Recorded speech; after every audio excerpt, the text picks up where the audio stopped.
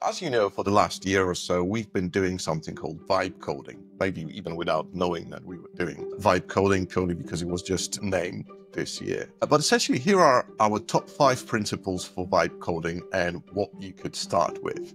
So the first one is that you should begin small and basically iterate. So don't give it out your entire project. It's also quite important to define a folder structure and basically naming conventions for the files and functions and just tell AI to keep things small and basically keep functionality in separate files so it doesn't build up like these large repositories of code that it then won't be able to handle properly. Revert if needed is another principle, as in if something goes terribly wrong or the AI is looping without actual solution, you can go back a step using checkpoint or revert in Windsurf. Also, work section by section, uh, which is super important when building UIs. Start with the hero header, then build the section underneath and so on. And basically the most important one is test early and test often, meaning actually check what the AI has done in its latest iteration. And yeah, just follow that and you'll be absolutely fine.